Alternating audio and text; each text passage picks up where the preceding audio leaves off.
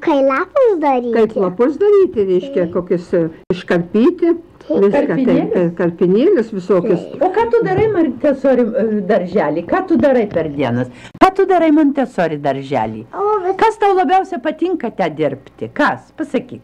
Uh, Gėlytės. Gėlytis? Gėlytės dėlioti? Taip, Gėlytės dėlioti. O kaladėlės dėlioti? taip.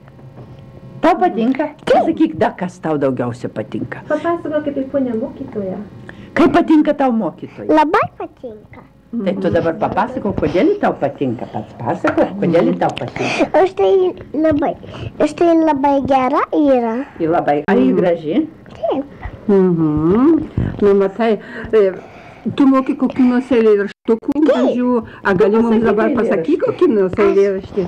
Vyčiai ženklas mūsų tėvynės, įnešiuosi prie krūtinės, pietys palvės vėliavos, atminimo Lietuvos. Bravo, labai gerai.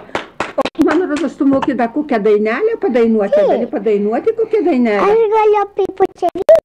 Gerai, padainuok, kiek labai įdomu dainelė. ten, ten, ten yra Lietuva. Taip. Pučia vėjas, neša laivą, nuneš mane į Lietuvą. Tai bus linksma, tai bus linksma, tai bus linksma Lietuvoj. Tai bus linksma, tai bus linksma, tai bus linksma Lietuvoj. Kiek tau dabar metukų?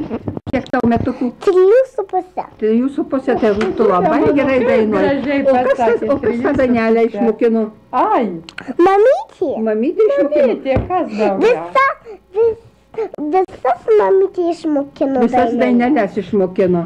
Taip. Ir, ir eilėraštukų dar. O tu moki visokių pasakėlių papasakoti. A, Ką? Apie Slibiną karalaitę. a, Papasakok mums. Aš žinau, kad tu moki labai daug gražių pasakėlių. aš sugalvosiu. Sugalvokit, papasakok mums dabar prie to mikrofono. Mes laukiam. gerai? Mhm.